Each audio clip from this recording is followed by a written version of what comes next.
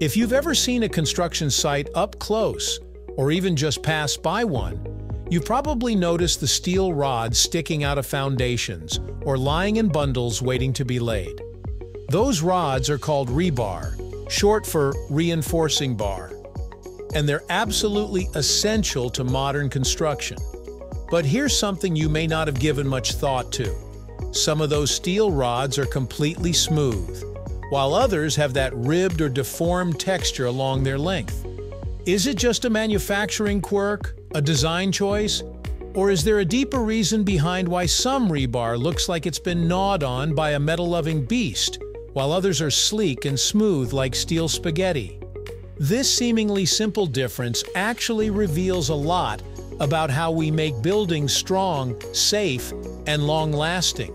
So today, let's crack open the world of reinforced concrete and find out why rebar comes in different styles, and what that means for the stuff we walk on, live in, and drive over every single day. Right here on History of Simple Things.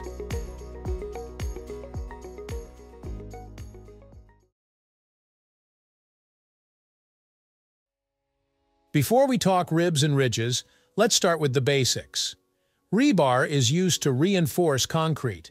Now, concrete by itself is strong in terms of compression. It can handle heavy vertical loads without much problem. Think of a concrete column holding up a bridge. Push down on it, and it resists that force beautifully. But concrete has a weak spot, tension. If you try to bend it or pull it apart, it cracks pretty easily. That's where rebar steps in. Steel is excellent at handle tension. So when we bury steel bars inside concrete, the two materials form a kind of super team. Concrete handles the squeezing, and steel takes care of the stretching and pulling forces. But here's the catch. For this partnership to work, the rebar and the concrete need to stay locked together. They can't be slipping past each other when the structure flexes. Imagine trying to glue a rubber band onto a block of ice. If the glue isn't strong enough, or the surfaces don't grip, you'll have a problem. That's where the shape of the rebar starts to matter. Smooth rebar is actually the original design. Back in the early days of reinforced concrete, late 19th century, early 20th century, Steel rods were mostly smooth. They were easy to manufacture and easier to cut and bend on site. But as builders started pushing the limits of what concrete structures could do, taller buildings, longer bridges, more complex forms, they began running into a problem. The bond between smooth steel and hardened concrete wasn't always strong enough under serious stress. The steel could begin to slip inside the concrete, leading to cracks and even failure. That doesn't mean smooth rebar disappeared, though.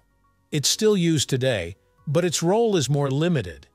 You'll often find smooth bars used for dowels and expansion joints, those small gaps in pavements or sidewalks that allow for movement due to temperature changes. In those cases, you want the bar to be able to slide a little to accommodate movement without breaking.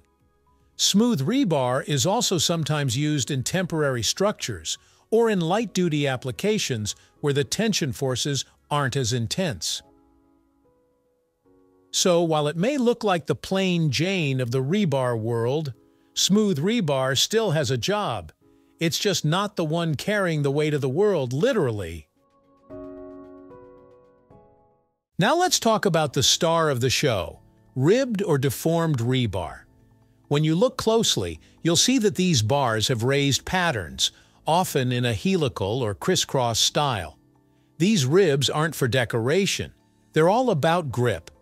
They create mechanical interlock with the concrete, preventing the bar from slipping when forces act on the structure. Imagine trying to pull a stick out of a block of cement. If the stick is smooth, it'll come out much easier. But if it's got ridges and bumps, it's going to resist being pulled. That's exactly the principle behind ribbed rebar. The ribs dramatically improve what engineers call bond strength between the steel and concrete. In fact, Ribbed rebar is so effective at this that modern building codes in many countries actually require its use in structural components. And the ribs aren't random. They follow strict design standards in terms of depth, spacing, and angle. There's a lot of engineering behind those little bumps, believe it or not. There are also different types of ribbed rebar. Some have continuous spiral patterns, while others have interrupted ribs or varying angles. Each design serves a slightly different purpose and works better in different concrete applications. But the goal remains the same, making sure the steel doesn't budge when the concrete starts to shift or flex under pressure. Why not just always use ribbed rebar? Good question. If ribbed rebar is stronger and safer, why bother with smooth bars at all? Well, it comes down to application, cost, and sometimes convenience. Ribbed rebar is more expensive to produce, and not every part of a structure needs the kind of tension support that ribbed bars provide. For example, if you're connecting two concrete slabs and you want them to move independently due to temperature or ground settling, you want the steel to be able to move a bit inside the concrete. That's when smooth rebar becomes the better choice. In some manufacturing processes, Smooth bars are easier to handle or cut. Plus, when temporary reinforcement is needed, say for formwork that will be removed later, using cheaper smooth bars makes economic sense. It's all about choosing the right tool for the job rather than assuming one solution fits all. So next time you pass a construction site and you see a pile of steel rods, some ribbed, some smooth, you'll know there's more going on than meets the eye.